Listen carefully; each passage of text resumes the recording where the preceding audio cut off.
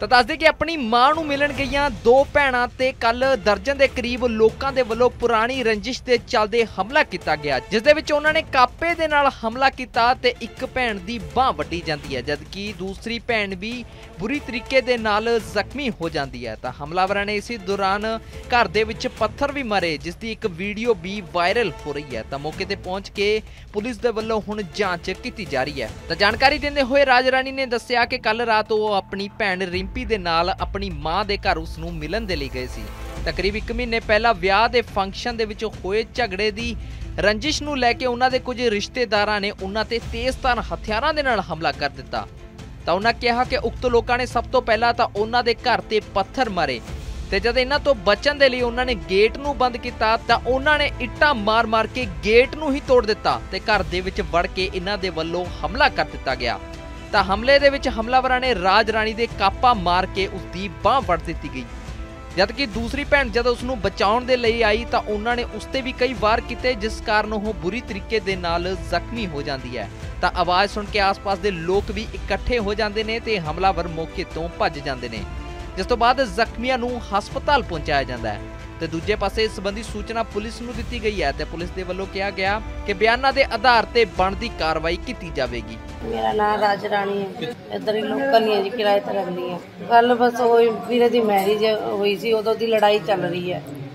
ਤੇ ਕੀ ਕਹਿੰਦੇ, ਬਸ ਉਹ ਰਾਜੀਨਾਮਾ ਹੋ ਗਿਆ ਸੀ ਤੇ ਮੇਰਾ ਵੱਡਾ ਵੀਰਾ ਘਰੇ ਆਇਆ। ਉਸ ਤੋਂ ਬਾਅਦ ਉਹ ਆਂਟੀ ਨੇ ਕੋਈ ਮਤਲਬ ਵੀਰੇ ਨੂੰ ਵੇਖ ਕੇ ਭੜਕ ਗਈ। ਜਿਵੇਂ ਉਹਨੇ ਡੰਡਾ ਡੁੰਡਾ ਮਾਰਿਆ ਤਾਂ ਸੀ ਗਏ ਬਾਰ ਵੀਰੇ ਨੂੰ, ਆਂਟੀ ਨੂੰ ਪੁੱਛਣ ਕਿ ਆਂਟੀ ਮੇਰੇ ਭਰਾ ਨੇ ਕੋਈ ਗਾਲ ਗੁਲ ਕੱਢਤੀ ਕਿ ਕਹਿੰਦੀ, ਐਵੇਂ ਕਰੂੰਗੀ ਤੁਹਾਡੇ ਨਾਲ ਮੈਂ। ਇਹਨਾਂ ਨੂੰ ਵੜਨ ਨਹੀਂ ਦੇਣਾ ਗਲੀ 'ਚ। ਪੱਥਰ ਫੇਕੇ ਪਹਿਲਾਂ ਉਹਨਾਂ ਨੇ ਸਾਡੇ ਘਰੇ। ਵਾਧੂ ਸਾਰਾ ਗੇਟ ਗੁੱਟ ਤੋੜੇ ਹੋਏ ਆ, ਤੁਸੀਂ ਜਾ ਕੇ ਵੇਖ ਲਓ ਹੈ? 25 ਬੰਦੇ ਛੱਤ ਤੇ ਪਹਿਲਾਂ ਚੜਾਏ ਹੋਏ ਸੀ, ਇਹਨਾਂ ਨੇ ਪੂਰੀ ਸਕੀਮ ਲਾਈ ਹੋਈ। ਠੀਕ ਹੈ? ਫਿਰ ਉਸ ਤੋਂ ਪਿੱਛੇ ਇਹਨਾਂ ਨੇ, ਇਹਦਾ ਮੁੰਡਾ ਆਇਆ ਸੁਸ਼ੀਲ। ਬੇਬੀ, ਇਹਦੀ ਮਾਂ ਹੈ ਸੁਸ਼ੀਲ ਦੀ। ਇੱਕ ਸਿੱਧੂ ਨਾਂ ਦਾ ਮੁੰਡਾ, ਇੱਕ ਤਰੁਣ ਸਵਾਮੀ ਹੈ। ਇਹਨਾਂ ਨੇ ਪਹਿਲਾ ਵਾਰ ਕੀਤਾ ਜੀ। ਇਹਨਾਂ ਮੈਂ ਪੁੱਛ ਰਹੀ ਸੀ, ਤਾਂ ਇਹਨੇ ਜਿਵੇਂ ਮੈਨੂੰ ਫੜ ਲਿਆ। ਬਦਸਲੂਕੀ ਕੀਤੀ ਆ ਮੇਰੀ ਸਿਸਟਰ ਮੈਨੂੰ ਛੁਡਾਣਾ ਹੀ, ਇਹਨੂੰ ਵੀ ਫੜ ਲਿਆ। ਤੇ ਇਹਨਾਂ ਨੇ ਹੱਥ 'ਚ ਨਾ ਉਹਦੇ ਮੁੰਡੇ ਦੇ ਸੁਸ਼ੀਲ ਦੇ ਕੋਈ ਕਾਪਾ ਹੈਗਾ ਸੀਗਾ।